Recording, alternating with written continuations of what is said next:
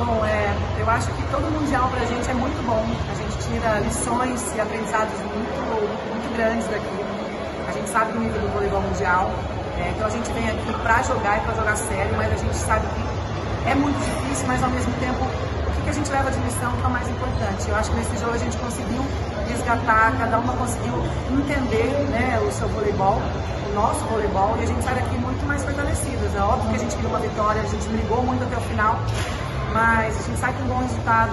E agora é descansar, foi o nosso último jogo do ano, que a gente volte no ano que vem já com outra cabeça e seguimos os, os restantes dos campeonatos na próxima temporada, né?